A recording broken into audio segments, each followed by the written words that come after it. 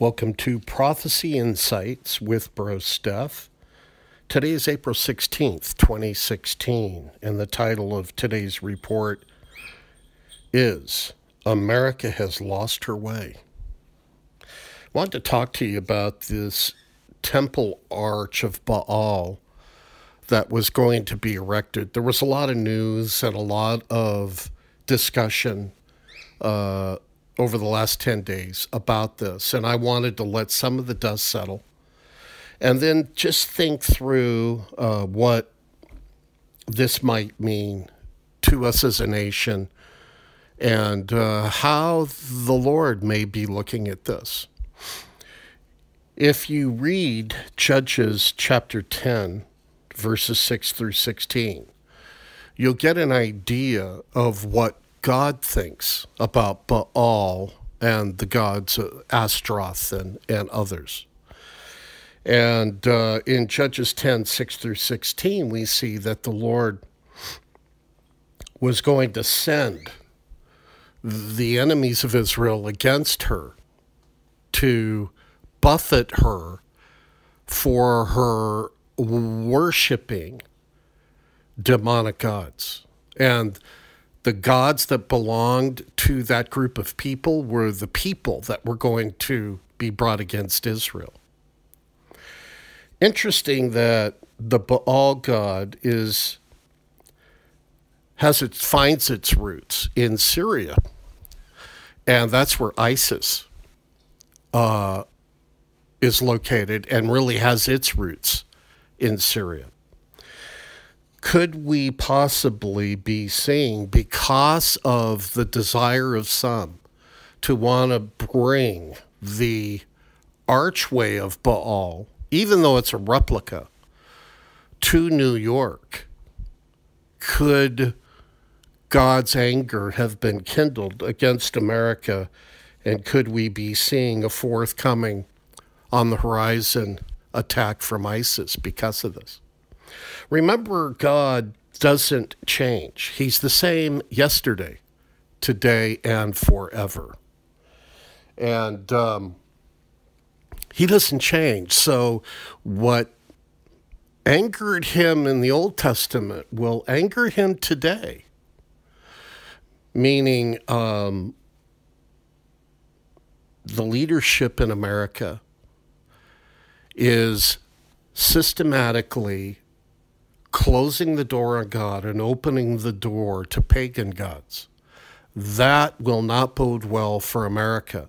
And I I believe like others do that it's very difficult. You have to really torture scripture to find America in Bible prophecy. It's just very difficult to find the United States of America in Bible prophecy and we very well could be on the eve of the diminishment of America in the world. We're diminished already, but further diminishment of America to the point that we're of no consequence around the world anymore. I believe that's happening. And mysteriously, just a footnote, this Baal arch was stopped mysteriously. And I find that to be very interesting. We don't know what happened behind the scenes to stop the Baal arches from being resurrected in New York. We don't know what happened. We don't know the full story. We may never find out. Also, a good scripture to read is Jeremiah 7 16. Um, and I would encourage you to do so when you get some time. Jeremiah 7 16 which states there comes a time when God says, don't pray for a nation or don't pray for a group of people. And that's what the Lord told Jeremiah to stop praying for Israel and to stop praying for his people. That's a scary thing when you think about it. Could America have crossed the line to the extent that the Lord would say to us, I'm going to judge America, and I don't want you to pray for her any longer. That's a. I, I don't know what to say about that. That's a a very very serious thought. Um, but I wanted to talk about this. Um, you know, Baal. Uh, as you read scripture, you can uh, uh, do a word search on Baal and study out what Baal worship was. And Baal was a statue. Uh, typically, it's it was on fire. The the arms and underneath Baal was on fire, and the bronze arms were fired up to an enormously hot heat, and the babies, infants, would be taken and dropped into the arms of Baal, and the babies would be sacrificed, thinking that would appease the god Baal, which is extremely demonic. And I don't want to get into the abortion issue, but in a matter of speaking, when a nation or group of people destroy its infants, that harkens back to what the ch- what the children of Israel did with their babies, throwing babies into the arms of Baal.